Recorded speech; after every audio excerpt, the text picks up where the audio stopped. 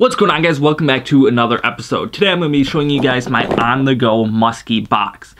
So basically in here is what I keep any of the stuff that I really use a lot when muskie fishing. And the reason for that is I don't fish a lot of muskies out of my own boat. Anytime I go, I typically go with other people, unless I'm like in Canada. So what I like to do is keep a little box here of the stuff that I actually use a lot. That way I don't have to lug around like three giant musky boxes. I can just take this one box and it has basically everything that I'll want to use in it.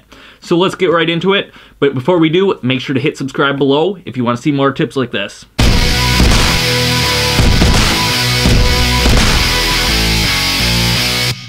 Alright, so on the inside of this, basically what this is, is a Plano tackle tray. I believe this is like the 37-31 size. If that's not correct, I'll put it right here so you guys can know for sure.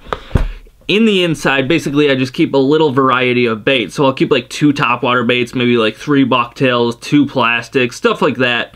And kind of being able to cover all of the situations that I want to use and baits that I'm just comfortable with. So, first, for the topwater, I guess we'll start out with, I've got a little walking bait here. This is a black and orange color. Not sure the name on this one. If you guys know, let me know below. It's basically just a simple, simple topwater bait, walking bait that is.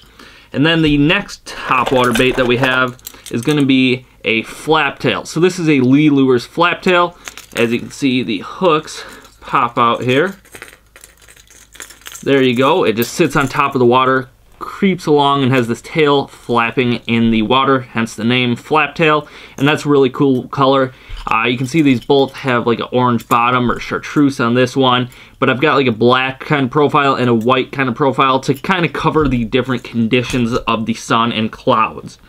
Then for crankbaits, what we've got is, I've got somewhere here, a grandma. This is like a Fire Tiger grandma, and this is to be 8 or 9 inches. And this is a good one that I like to troll with. I don't really fish crankbaits too much for muskie casting, but it's a good little trolling bait, and it's kind of a size that you'll catch a bunch of pike as well as muskies on. And in that same bait, we've got just a different color. This is like a gold black back nice little natural walleye imitation to go with that perch. So we've got kind of two different profiles. And these ones, as you can see, have a lot of flash in them, which is kind of cool when the sun is out. But if you don't want that, another one I've got here is a Custom X. This is the 5-inch mini. And here we go. It's a nice little smaller bait. This is the one, if I'm going to cast a crankbait for muskies, this is pretty much the go-to one for me. It's in like a nice black and orange color. Just a really easy bait to throw. You can just straight retrieve it or twitch it. And we've caught some big, big pike on these in Canada, as well as they've produced a lot of muskies.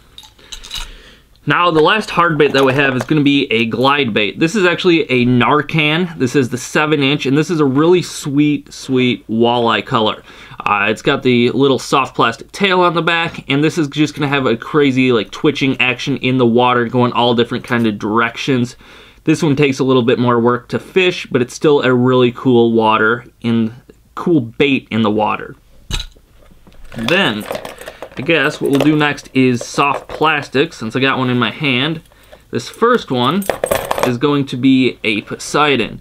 Now the cool thing about this one is you can cover a lot of different depths in the water with, and it's super easy to fish as well.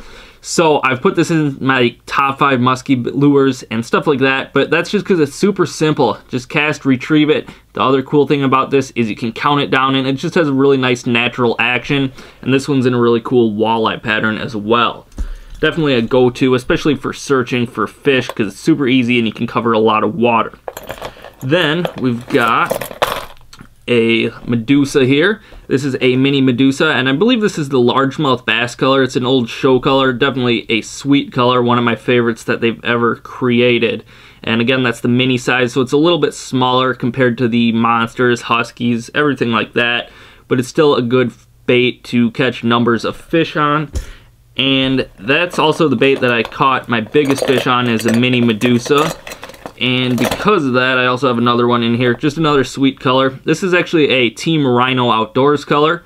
And this is like basically a natural sucker pattern. Same color I caught my biggest fish on. However, this one has the neon green bottom. And if it has neon green, I'm probably going to buy it. So I had to throw that in there.